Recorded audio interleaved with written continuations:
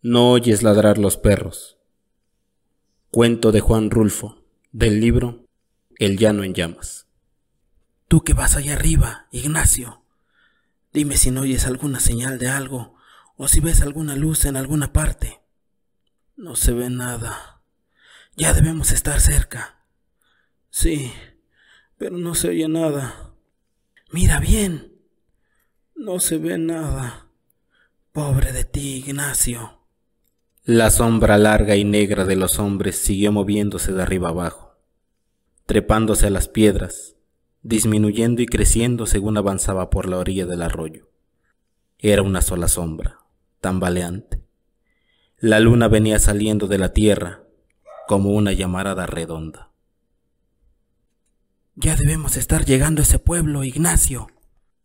Tú que llevas las orejas de fuera, fíjate a ver si no oyes ladrar los perros.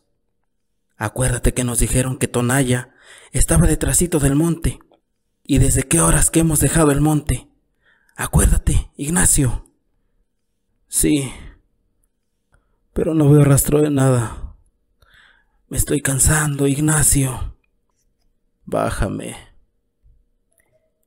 El viejo se fue reculando hasta encontrarse con el paredón y se recargó allí, sin soltar la carga de sus hombros. Aunque se le doblaban las piernas, no quería sentarse, porque después no hubiera podido levantar el cuerpo de su hijo, al que allá atrás, horas antes, le habían ayudado a echárselo a la espalda, y así lo había traído desde entonces. ¿Cómo te sientes, Ignacio? Mal. Hablaba poco, cada vez menos. En ratos parecía dormir. En ratos parecía tener frío. Temblaba.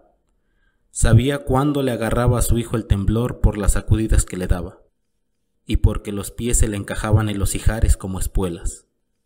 Luego las manos del hijo, que traía trabadas en su pescuezo, le zarandeaban la cabeza como si fuera una sonaja. Él apretaba los dientes para no morderse la lengua, y cuando acababa aquello le preguntaba, ¿Te duele mucho? Algo, contestaba él. Primero le había dicho, apéame aquí, déjame aquí, vete tú solo, yo te alcanzaré mañana o en cuanto me reponga un poco. Se lo había dicho como cincuenta veces. Ahora ni siquiera eso decía. Allí estaba la luna, enfrente de ellos.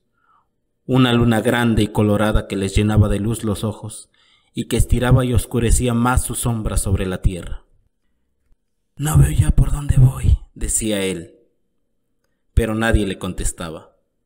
El otro iba allá arriba, todo iluminado por la luna, con su cara descolorida, sin sangre, reflejando una luz opaca, y él acá abajo. ¿Me oíste, Ignacio? Te digo que no veo bien. Y el otro se quedaba callado. Siguió caminando, a tropezones. Encogía el cuerpo y luego se enderezaba para volver a tropezar de nuevo. Este no es ningún camino. Nos dijeron que detrás del cerro estaba Tonaya. Ya hemos pasado el cerro, y Tonaya no se ve, ni se oye ningún ruido que nos diga que está cerca. ¿Por qué no quieres decirme qué ves? Tú que vas allá arriba, Ignacio.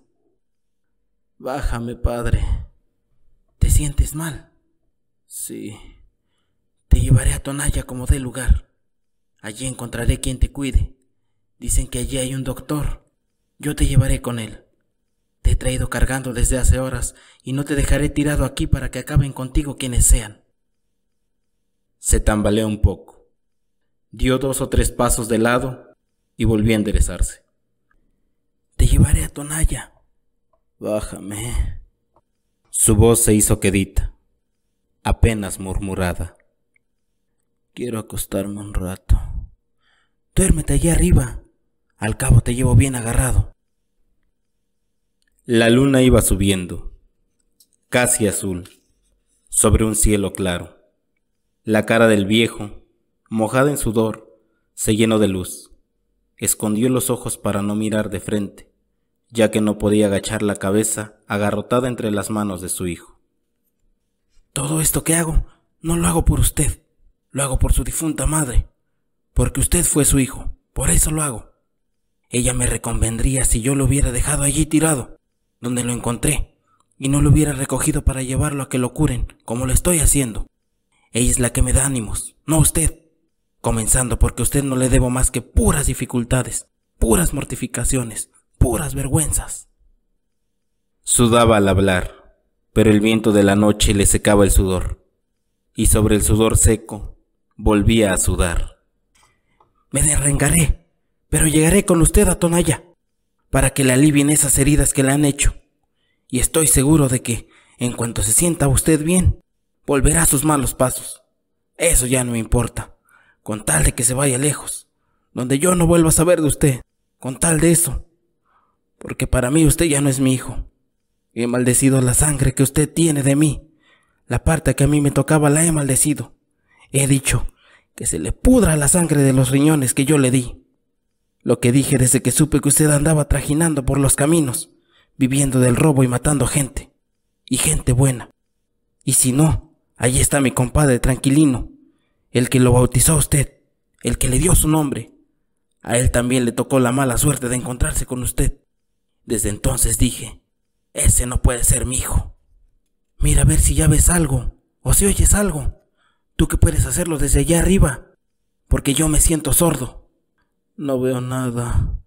Peor para ti, Ignacio. Tengo sed. Aguántate. Ya debemos estar cerca. Lo que pasa es que ya es muy noche y han de haber apagado la luz en el pueblo. Pero al menos deberías de oír si ladran los perros. Haz por oír. Dame agua. Aquí no hay agua. No hay más que piedras. Aguántate. Y aunque la hubiera, no te bajaría a tomar agua. Nadie me ayudaría a subirte otra vez y yo solo no puedo. Tengo mucha sed y mucho sueño. Me acuerdo cuando naciste. Así eras entonces. Despertabas con hambre y comías para volverte a dormir. Y tu madre te daba agua porque ya te habías acabado la leche de ella. No tenías llenadero y eras muy rabioso.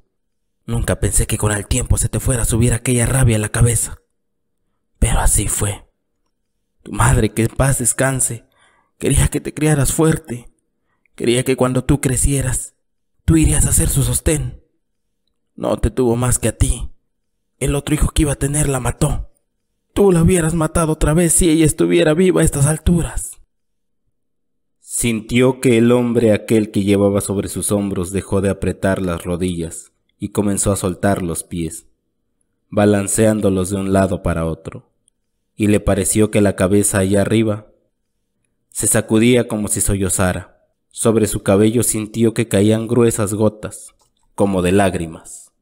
Lloras, Ignacio. Lo hace llorar usted el recuerdo de su madre, ¿verdad? Pero nunca hizo nada usted por ella. Nos pagó siempre mal. Parece que en lugar de cariño le hubiéramos retacado el cuerpo de maldad. Y ya ve ahora, lo han herido, Ignacio. ¿Qué pasó con sus amigos? Los mataron a todos. Pero ellos no tenían a nadie. Ellos bien pudieron haber dicho, no tenemos a quien darle nuestra lástima. Pero usted, Ignacio. Allí estaba ya el pueblo. Vio brillar los tejados bajo la luz de la luna. Tuvo la impresión de que lo aplastaba el peso de su hijo al sentir que las corvas se le doblaban en el último esfuerzo. Al llegar al primer tejabán, se recostó sobre el pretil de la acera y soltó el cuerpo, flojo, como si lo hubieran descoyuntado. Destrabó difícilmente los dedos con que su hijo había venido sosteniéndose de su cuello, y, al quedar libre, oyó cómo por todas partes ladraban los perros. ¿Y tú que no los oías, Ignacio? No me ayudaste ni siquiera con esa esperanza.